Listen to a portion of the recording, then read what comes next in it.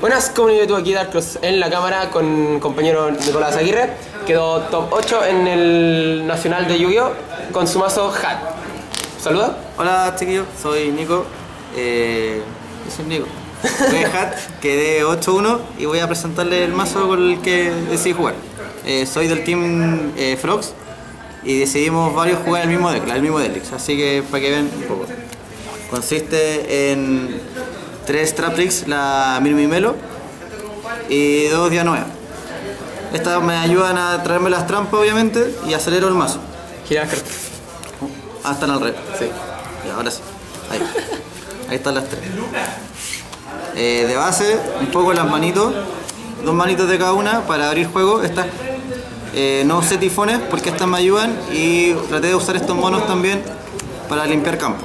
Así que también son como indispensables ahora. Eh, la base de los artefactos es un, uno rojo. Este para prevenir los exit sirve contra mazos como Merma y Yarya que juegan a base de, mucho exit y eh, Moral, que esta carta eh, ro- rompe muchos combos y ya te hace un más uno al tiro. Así que esta es la base de los tres artefactos que se juegan. Como Strable, para estancar siempre un Thunder King nunca es malo en el formato.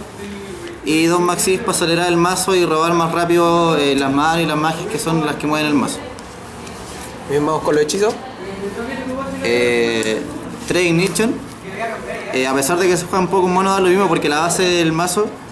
O sea, la idea es ir reciclando los monos y devolviéndolo al mazo. Para eso, más adelante, voy a mostrar que juego una Dichotomy.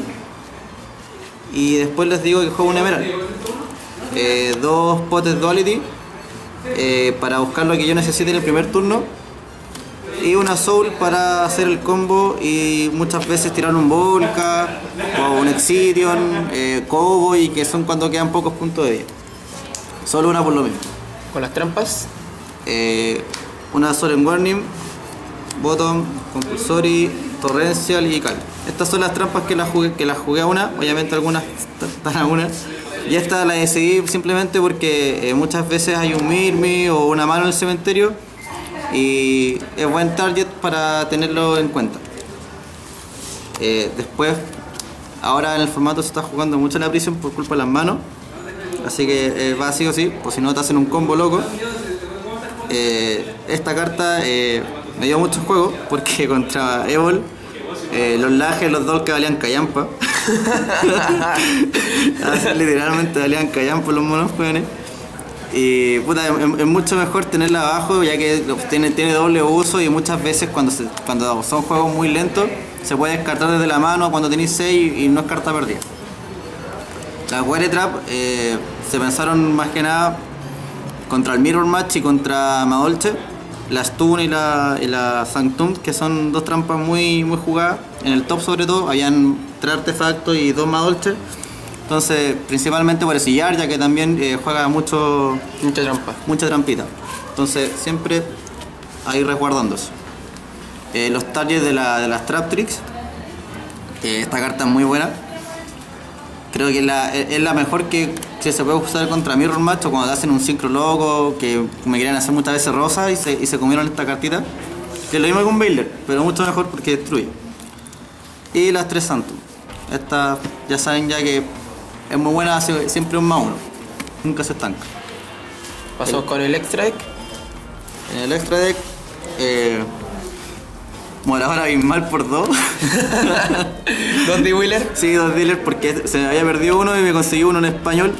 Así que dos dealers porque justamente eh, pensando en el mirror match y bueno, los merma y, y mucha formato. tontera el, formato como que me obligó a jugar dos, dos dealers. Era mejor que colocarle otra, ot- otro exit de 4 como un Utopía o Maestroque, ya que te- te- tenía mucho más juego cuando se estancara el, el tema.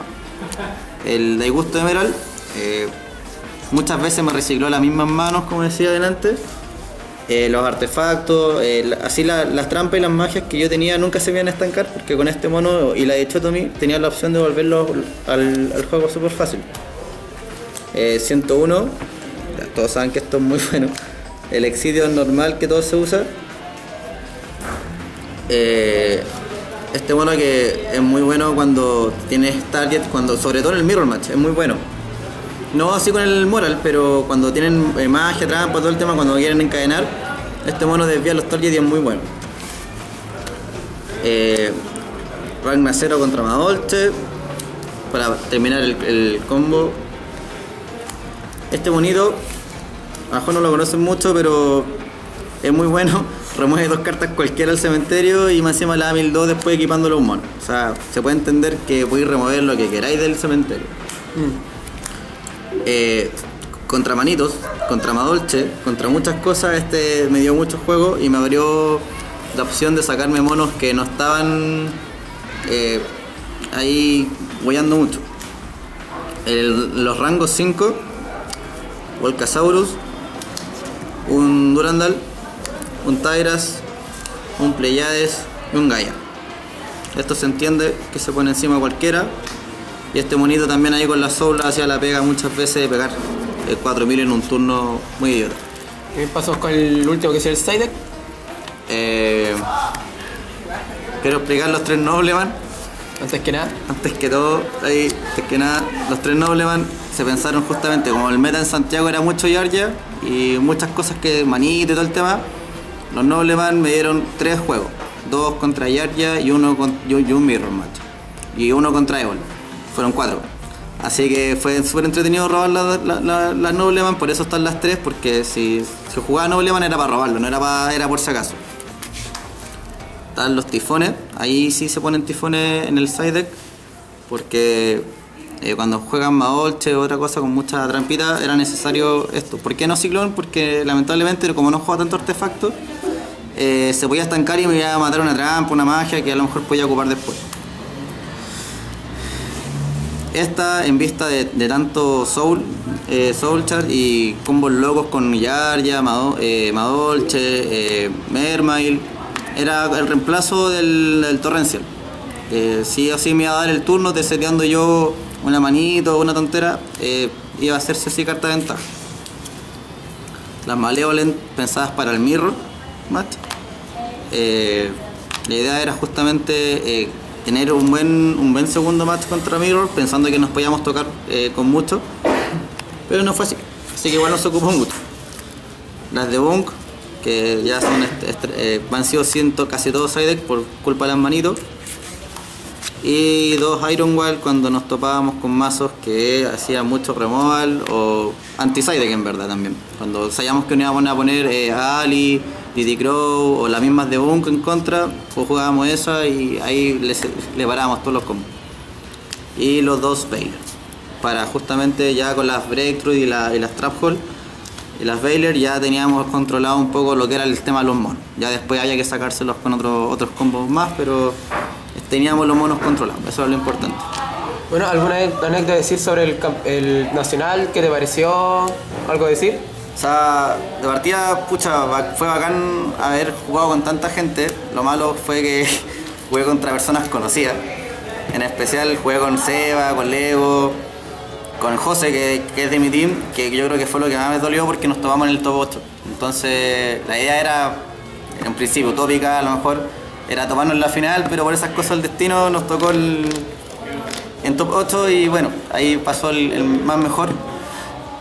Eh, lo bueno que todos hicimos un, buen desempeño como tienda acá de Viña y, ya queda el continuo. po. Ahora tratar de mejorar la lista porque igual le veo una que otra deficiencia en, términos de que eh, a lo mejor había como una u otra carta que no le daba mucha consistencia al mazo, que era como muy, al azar, pero era buena al azar, pero como consistencia a lo mejor no, le brindaba todo el, todo el plus al, al deck. Pero fuera de eso, bacán. Eh, y eso. ¿Te gustaría mandar un saludo a alguien? Eh, un saludo a, Rafita, a José, a Juago y Lucho del team y a David que aportó aquí con, con harto de su, de su espacio para hacer el video y ayudó a varios cabros para poder jugar el torneo. Bueno, hasta aquí ya el video. Recuerden comentar y suscribirse. Este ha sido el deck profile del mazo hat de Nico Aguirre. Top 8 del Nacional de Yu-Gi-Oh! Adiós.